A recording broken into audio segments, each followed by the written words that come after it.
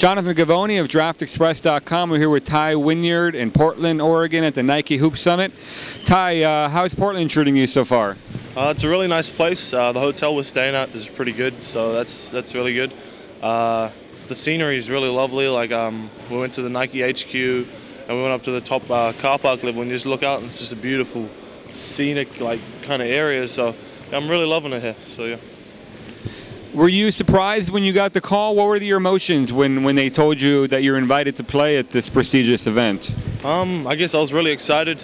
Uh, yeah, I don't know. I just You're one of the younger guys. That's why I say you could still be eligible for next year and the year after too. So it's it's kind of rare for someone so young to get a call. Yeah, I guess so. But uh, I guess I just take it in my stride and uh, go as hard as I can, and uh, don't really show how young I am, and try to play like they are. So yeah. How do you think you fared here against the big guys, some very talented guys that you're going up against? But it seems like you've been really, really aggressive so far. Uh, I guess I've been doing pretty well. Uh, this training today, I went pretty well, but uh, I'm just trying to adapt to the American style of oh, the some American players that play American high school, some of their type of playing, like the athletic Yeah. and the the quick, the quick players. So I'm just trying to adapt to that. And I think when I get to that, then I can probably start playing my own game. But uh, I'm trying to, I'm starting to get into it a little bit, uh, just getting my deep post ups and stuff. So yeah. How is um, how do you have to adjust your game? What is what is different about the way you can play here versus the way you can play against other guys your age uh, in New Zealand or against the Australians?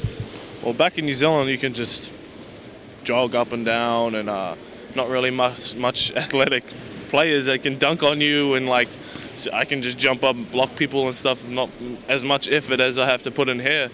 So uh, I guess playing against all these guys really makes you a lot better to be able to have to jump up there and have to sprint down the floor, sprint back, and like keep up with players. And it's not all just banging around like back home. It's just it's just a lot a lot different, I guess. Yeah, it's way better, a lot more more different. So yeah.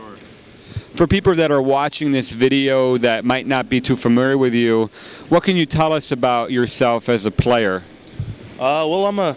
Some people call me the banger or banging around lumberjack. So I, I play a really solid game. Um, I like to bang people around. I guess I like to set hard screens, uh, pick and roll, pretty much anything. But uh, yeah, I guess I just try to use my big frame. Uh, I'm about 265, so I use my weight to push people around and stuff in the paint. So just get deep seals. Uh, I don't know. That's about it. Yeah. Where does that physicality come from? Is that something that you've always had since a young age? Uh, yeah. Since I've been little, I've been doing athletics and stuff, and I've been setting the record for the shot put and the discus and the long jump and stuff. So, athleticism has pretty much been in my genes since day one, since my parents. My mum and dad are both world champion lumberjacks, which is where I got my lumberjack name from. So, my dad, he's a, I think it's like 11-time world champion, and he's going over again this year for his 12th, I think. If I'm if I'm wrong, I'm sorry, but I think it's his 12th, his second consecutive, which is pretty amazing to be able to win that many. So I think the genes from that is pretty good, and so is my mom. Right. Yeah. What are some of the things that you're working on? What do you need to improve on to reach your full potential?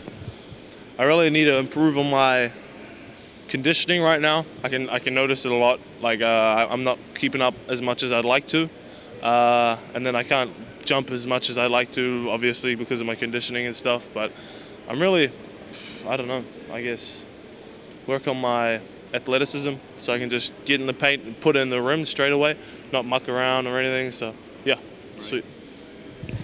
What about um, goals for your career? What are some things that you'd like to accomplish? Uh, this year, I'm hoping to get in the Tall Blacks again and go to Olympics, hopefully. So I'll be really pushing for that when I get home. I think trials start a week after I get home from this. So I just got to really push myself for that. That's a big goal for me. Um, heading to Kentucky, probably another big goal to play as well as I can over there. Uh, and hopefully NBA in the near future. So you're graduating high school in, in this December. What's um? So what?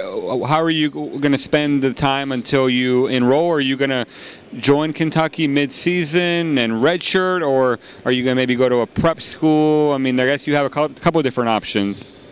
I guess I'm still thinking about it with my parents and stuff. I, I committed really early because I knew from day one where I wanted to go, from uh, just how they how they approached me and everything. So I guess I'm still thinking about it. Uh, not really too sure yet. So just kind of laying low. I got a lot of time to decide it. Probably the end of the year, I'll be deciding whether I'll be going or whether I'll be staying because I still don't know if I'll go 2015 or 16 yet. But uh, I'm, I'm pretty sure I'll be going 2016 now. Uh, just due to grades and stuff, getting my schooling done fully, and yeah. How did the contact with Kentucky come about? How did you become aware that they were interested in you, and, and how long of a recruiting process was it? Uh, I guess um, when I went to the Jordan brand, I think they had a look at me there, and I, I fouled out of the game, which is pretty bad. But I think I got a mid range and a couple of rebounds and stuff. But I think they saw me there. And then um, the Nike All Asia camp, where I went away and I got MVP of the camp.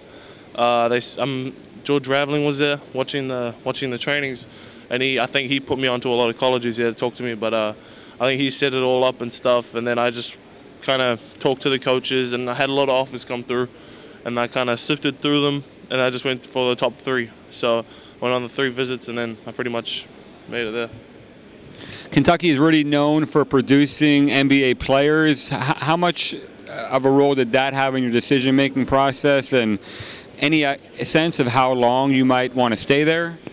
Uh, yeah, they pretty much said to me. Coach Cal said, "If you come here, the number one thing we're going to work with you is pretty much to get you the NBA.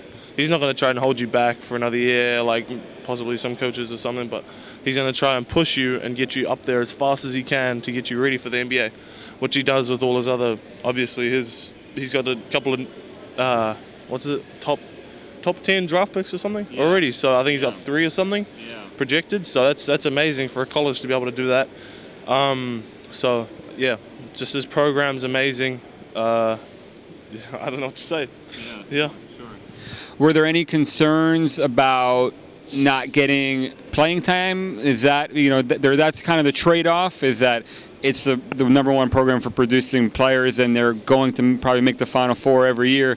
But are you you know that you have to share playing time? How do you feel about that? Game time really doesn't matter to me as long as every training I'm getting better because that's that's all I'm really really going there for. Obviously, game time game time would be really nice, but if I don't get game time, I'm not too fussed. All I'm fussed about is getting as good as I can for the NBA, which is obviously if I'm going to go there, I'm going to be getting game time. So I got to just push myself. And uh, I don't know which time length I'll be looking at, but uh, just see when I get there. I guess I got another year to work on my stuff. Uh, yeah, taking my strides. Great stuff. Best of luck. Sweet. Thanks, man. Yep. Take care.